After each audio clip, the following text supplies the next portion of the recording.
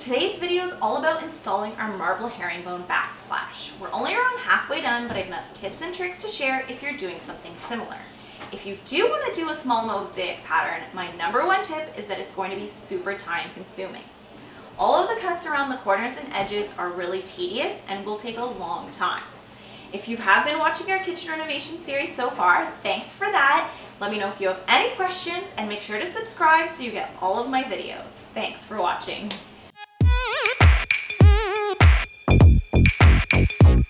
Right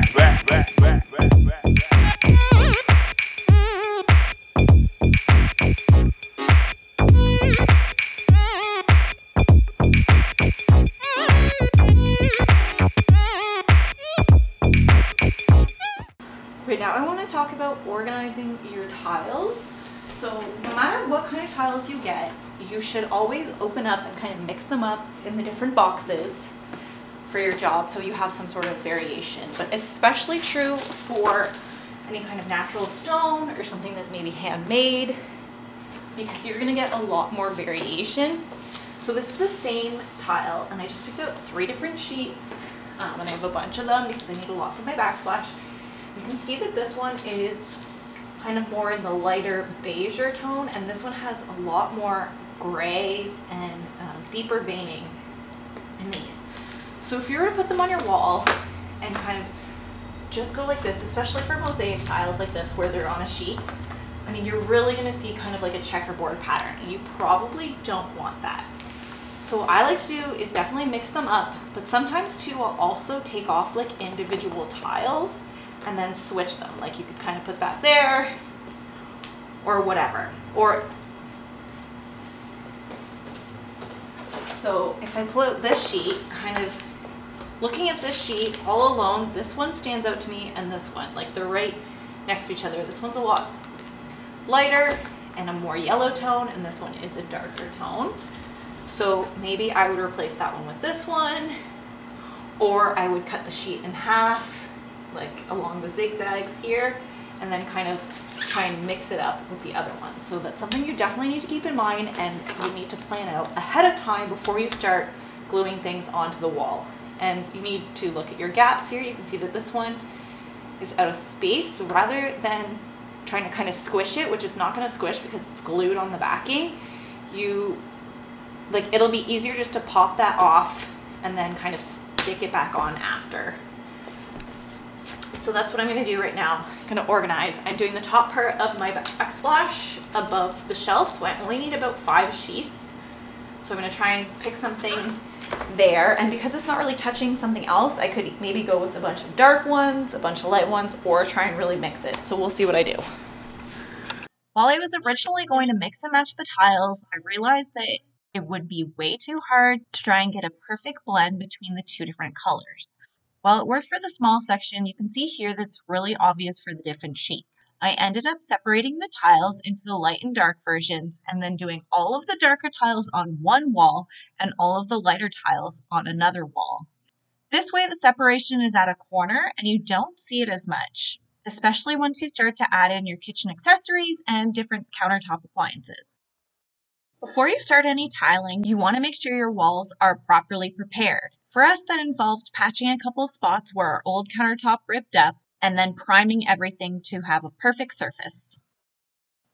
We also tried cutting the tiles on the sheet itself. I had seen a couple of videos that had this method, but it really wasn't working for us. Not sure if it was user error or the marble tiles that we used, but we got a lot of breakage and it was really hard to keep the tile sheet straight. Okay, so I have my mix here and I had to go with one that's a quick set. I don't really like using quick sets, like basically it dries a lot faster, but I'm using this small bucket and only mixing small batches at a time because of that. And I put like a cup, and in this case it's like a laundry cup, and kind of scoop it out of the bag. Or you could just dump the bag, but it makes more of a mess that way.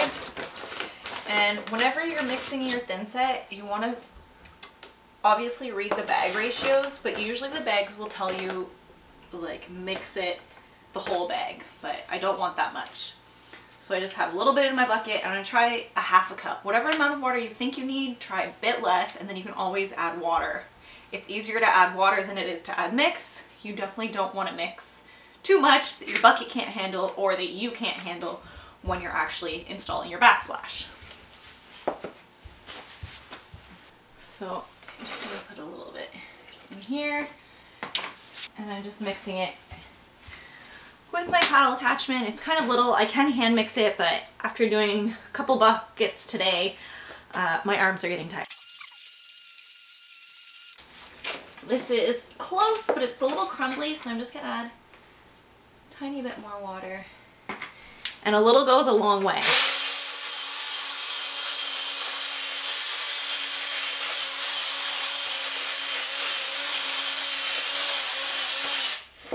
This is really good. If I was using a normal thin set, I'd kind of like it this consistency, but again, I am using like the super quick drawing, so I'm going to make it a bit wetter just because I know that it is going to harden up really fast. You can buy pre-mixed thin set, which is sometimes called mastic. I just prefer to mix my own after having a bad experience with the pre-mixed one. But again, make sure to read and use the product that's suited for your tiles. For the actual tiling portion, we had done the little section above our custom shelf ahead of time, so we kind of knew what we were in for. We started with the wall directly below that, which we called our fridge wall, and we were still attempting to cut straight lines and then put the full sheets on from there. This is also our wall that has all of the darker tiles, but now that everything is grouted, it's a lot harder to tell. When I tile, I like to have two people working one person doing the thin set and installing the tiles, and another person cutting and getting everything prepped. It doesn't always work out that way, but it does make things go a lot quicker. Essentially, you take the straight part of your trowel, spread a bunch of thin set on the wall, at least enough to cover a square or two of your tiles, and then you use the groove side to make grooves, which your tiles will grip into. The trowel size you use depends on the tile size, but read the box of tiles, which will often tell you which one to use. You're also going to want to have some spacers handy because these will help to separate your tiles and have the proper spacing between each sheet. In a pinch, I find that the cardboard that the tile sheets are on works great as a spacer. I also like to use pieces of cardboard or the spacers to hold underneath the tiles where my countertop edge is.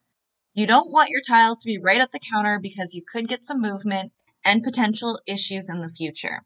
The biggest hurdle with installing a backsplash is that you're fighting against gravity. So spacers definitely come in handy to keep everything up and upright where it should be. If you ever need to take a break when you're tiling, make sure to scrape away as much of the thin set as possible. I like to use the flat end of a trowel and then I wipe everything away with water. You definitely don't want to have to deal with dried thin set because it's a lot harder to take out. Another thing to keep in mind, especially when you're doing small patterns or stopping and starting your tiling job, is that you should try and go in one direction as much as possible. As you can see here, I was trying to match up the left and bottom parts of the tiles, and I was having issues with my lines lining up perfectly, so I had to do them individually rather than putting in a full sheet. Seeing how this was such a problem at this point, I made sure to have a starting and stopping point when I went around the window. I couldn't go in both directions at one time, so I decided to stop my pattern right behind the faucet, and that way it would be hidden if there was any kind of gap discrepancy. I continued moving forward doing as many full sheets or full pieces as possible, and we left all of the small tiny cuts for afterwards. It was quicker to go this way rather than trying to cut the perfect lines as we went, but it still takes time no matter what. My husband was also gone when I did most of these tiles, and it would have taken me way too long to try and get these perfect little pieces cut while working with my quick setting thin set. When you do go back in to do the small tiles, you can cut them individually on your wet saw or sometimes using a snipper tool if you just have a little corner to cut off. You're also going to need to back butter your tiles, which means putting the thin set directly on the back of them and then just sticking them on the wall. Like when you're installing the sheets, you're going to want to make sure that there isn't any thin set that squishes out. If there is, you can use a spacer or a butter knife to try and get it out. Because we are doing a marble backsplash, you are required to seal the marble before you install your grout, making sure it stays wet during the application and then wiping any of the sealer off afterwards. Notice how I was doing it with the kids, and this is how a lot of our projects go around here. For our sealer, you needed to wait a couple of days before you could grout. Mixing grout is similar to mixing thinset, and you can also buy the premixed grout as well. For our tiles, they suggested to use an unsanded grout, and luckily I had one in a white color already. I also had a sanded grout in gray, which would have worked for our kitchen color scheme. Essentially, your grout color can make or break your project. If you don't have a perfect tiling job, choosing a contrasting grout can really show those imperfections. Choosing a tile grout that's similar to your tiles will hide some of the imperfections, but it also depends on the style that you want to go for. When you're grouting, you're going to use a tool called a float, which is kind of like a rubber trowel. Then you try and push in as much grout into the cracks as possible, going at a 45 degree angle. With our herringbone pattern, it's a bit trickier because there are angles in every direction. If you're doing a larger scale tile, you can usually just stick to the grout lines compared to a small mosaic where you have to squish it everywhere. After a few minutes, you're going to want to take a wet sponge and slightly wipe over the areas that you have done. You don't want to squish the grout too much, but you do want to get anything off of the surface of the tiles. I like to work in sections at a time, making sure that the grout that I've already put in doesn't dry too much on the tiles. Once you're done, you're going to go over everything about half an hour later, wipe it again with the sponge, and then you're going to keep doing that a few times to get rid of all of the grout haze.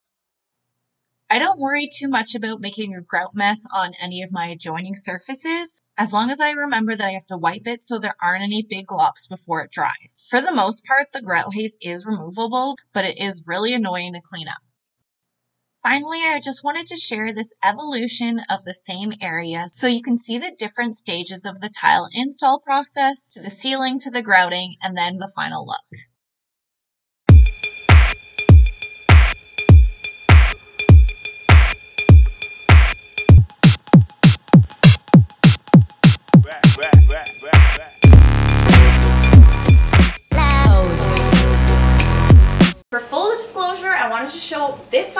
Backsplash, which has been installed but isn't grouted yet. There are still a couple of edging pieces that we need to put in, and especially everything around the micro hood.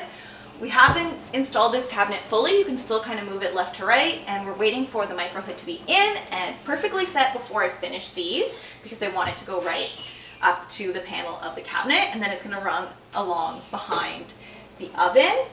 We still have to figure out the hole for exhaust. Um, so our next video might not be in a week and we're still waiting on a couple of other materials to arrive before I can finish up the next thing. So I just want to give that heads up and full disclosure about what our unfinished parts of the kitchen look like. Thanks for watching anyways.